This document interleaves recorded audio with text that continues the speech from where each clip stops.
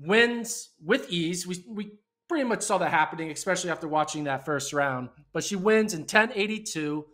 Kind of had a rocky start. It was very night and day start from her semifinal versus her final. Her final, not that good of a start, but she's just so much better than everyone else on the USA field that she was able to still pull away with ease. But if she has that type of start at the world championship level, she's not going to win a race like that, especially what we saw what Shericka did. We'll talk about that later. But again, it's not about her putting together an all time race here. It was just about getting the win, Yeah. getting to Budapest, and getting to that starting line. And she checked that off her list. That's what she came here with one job. It wasn't to throw down American records or all time marks. It was Yeah. just to qualify. And she did it with ease. 1082 with the like she was like in last place almost like through the first 10 meters, it felt like. She had two really awesome starts Yes. in this meet. Oh, from prelims and Prelims, semis. semis, they were great. It wasn't her best start in the final, but at no point in this race Didn't I think that she was going to lose. Yeah. Not only did I think she was going to qualify, I thought for sure she was going to win because I watched the first two rounds. So, yeah, we can talk about worlds and all that other stuff and what it means later on. But you're right. The mission was simply to qualify, and she did that. She runs 10 8 without her best start. I think that's a good sign.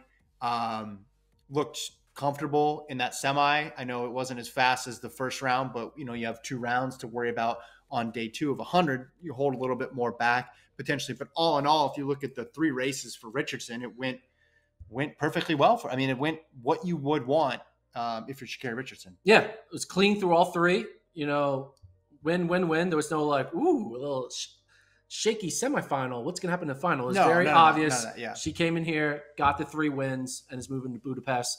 And then beyond behind her, we kind of thought it was going to be an Aleia Hobb Yeah. Sha'Carri showdown, but Yeah. Hobbs had a disastrous semifinal. Gets dead last in her heat. Not sure. Clearly, there was something up because that was not what we've seen all year long for her. She like struggled and she was never able to find her turnover late in the race and fails to make the final. Uh, so once Hobbs was taken off that Yeah. top three list, we're like, hey, there's two spots for the other seven women to get, and Brittany Brown Mhm. and Tamari Davis get it done.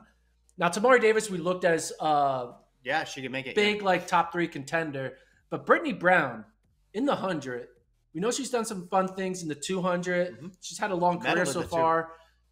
For see her get second place in the USA's in the hundred, I was very impressed. I thought that was kind of the underrated, didn't see it come into performance of the of the day so far. Oh, 100%. 100%. And you're right. She medaled in Doha.